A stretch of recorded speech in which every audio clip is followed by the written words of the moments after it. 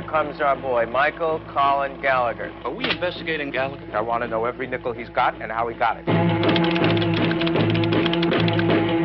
You're talking to a newspaper right now. Do you understand? You can't write this.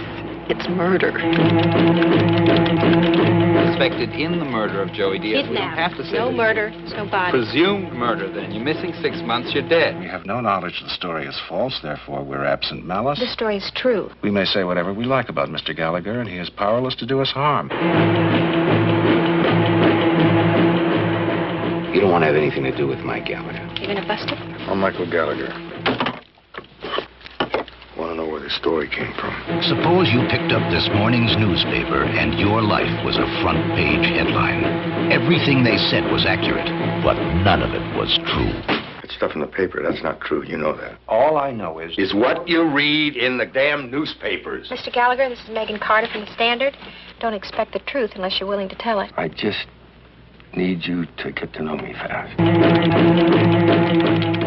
You say somebody's guilty, everybody believes you. You say he's innocent, nobody cares. I know how to print what's true, and I know how not to hurt people. I don't know how to do both at the same time, and neither do you. You want to know the truth? Okay, you want to ask me as a person? I'll tell you. You ask me as a reporter, I got no comment.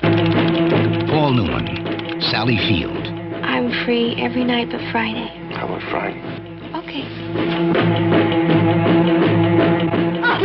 What are you doing here? Picked up a newspaper and there it is for everybody to see. she writes the story that sets him up.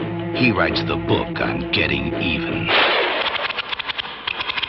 Absence of malice.